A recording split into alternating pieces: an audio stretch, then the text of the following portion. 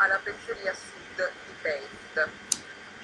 Uno dopo l'altro i 33 minatori intrappolati da oltre due mesi a 700 metri di profondità nella miniera di San José in Cile stanno tornando in superficie e questa notte è iniziata l'evacuazione per riportare alla luce i minatori è stato eh, scavato a tempi record un pozzo attraverso cui passa una capsula eh, monoposto che sta facendo la spola fra la miniera e la superficie e sulla miniera si sono accesi riflettori dei, dei media internazionali, sono presenti oltre 2000 fra giornalisti e operatori.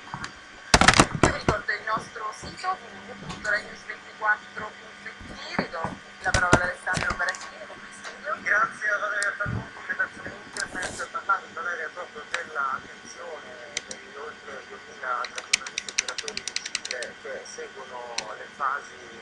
del salvataggio lento, uno anche uno dei 33 minatori. Eh, abbiamo seguito fino a pochi minuti fa anche noi in diretta, continueremo a farlo perché vi ricordo eh, che questi telefoni sono ascolti in questi istanti che siamo in attesa di collegarci con uh, Montecitorio, con l'aula della Camera dove... Fuck